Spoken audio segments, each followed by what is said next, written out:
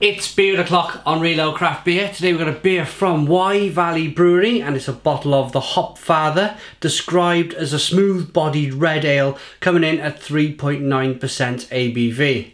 There's a look at the label, there's the bottle cap, black bottle cap then. Let's get the beer out into a glass and see what we get. Now I'm going to let you guys into a little secret. Nice bit of smoke on the bottle opening. When I worked as a pub manager, oh look at this, look at the smoke. When I worked as a pub manager in Cowbridge, this was one of our favourite beers in the pub.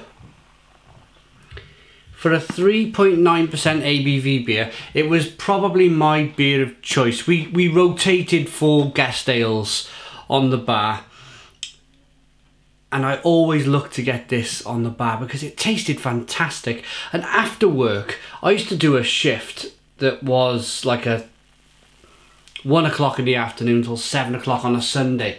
When I used to finish at seven o'clock on a Sunday, of course you just want a beer. You want to chill out, have a beer. It's been a busy day. You've served loads of Sunday lunches, and you want something to relax with. Yeah. So if this was on, which it probably went on every third week. So it was quite a pop, and as soon as it went on, it kind of it flew out. It was a big seller.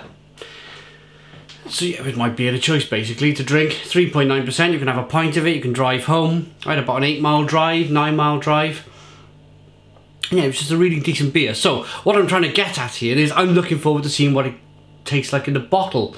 Um, it's quite carbonated. It's, it's a three finger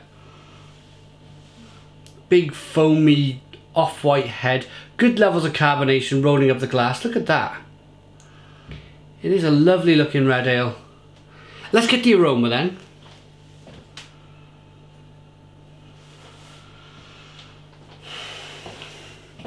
Yeah, it's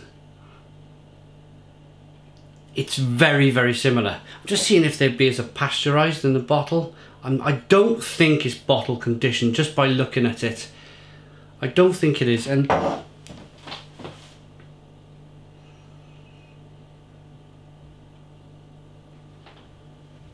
it's very close. It's very close to the cask version. Citrusy, grapefruit aromas. A little bit of orange peel. Nice bit of spice, nice biscuity malts coming through. Let's dive in. Cheers.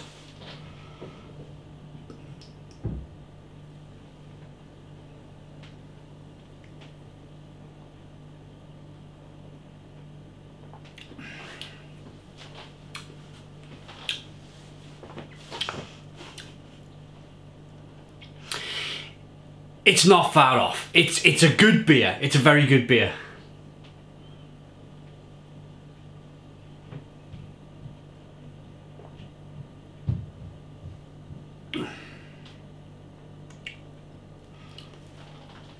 Some lemon, grapefruit, citrus coming through. Some pine needle, some bitterness on the back end. There's some nice biscuity malts to begin with.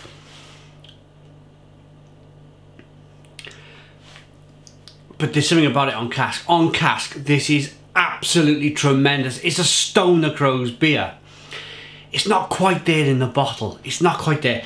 And I think it's down to the fact that it's not a bottle conditioned beer. Uh, cask, of course, cask conditioned beers, they're alive, they're living, they're breathing. You can dry hop a cask as well if you want to. I've certainly seen it done in my time.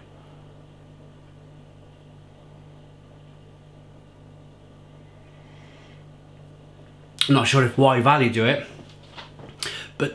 it just seems just a bit more pokey. It's just got a little bit more to it on cask. But in the bottle, I mean, it's still a lovely, lovely beer. It's just pasteurized. It's just, it's just, it's had something taken away from it.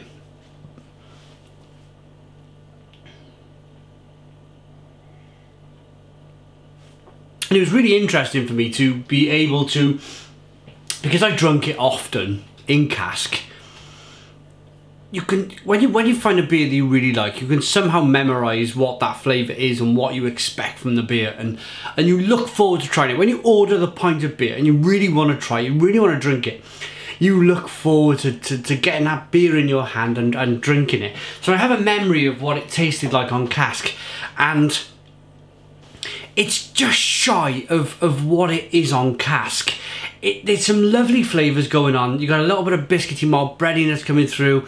Um, the the carbonation's nice. It's it's obviously more. It's it's it's forced carbonated in the bottle. That might have something to do with it.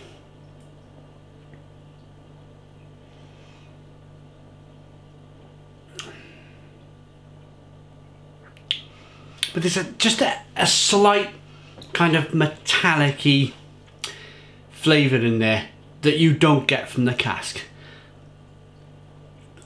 Citrusy, bitter, grapefruity flavours, lemon flavour there.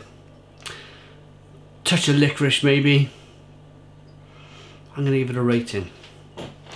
First of all, I want to mention the hops in the beer. It is Goldings UK Chinook hops, Jester hops and yeah that, that's it. And some crystal malted barley some chocolate malted barley to give it some colour. It's a lovely beer. The Hopfather by Wye Valley Brewery. I'm going to do something I've never done here on the channel before. Um, I'm going to rate the cask without drinking it in front of you. And then I'm going to rate the bottle. Because I've talked so much about the cask um, I think it's only fair. So the cask version of this, if you see it out and about, is a fantastic Stone the Crows 9 out of 10. It is a wonderful beer. In the bottle, it's a 7. It's a 7 out of 10. So it's just a couple of marks shy of being that great beer. Maybe Wye Valley Brewery might look into bottle conditioning a bit. I don't know. Maybe that's possible. Maybe that will have a little bit of a difference with with this beer. Um, but yeah, I just thought I'd do something a little bit different. Cask versus bottle. Without trying a cask. 7 out of 10. Please put your comments in the comments box. Subscribe to our daily beer reviews. Give us a big fat thumbs up. Boom! And cheers.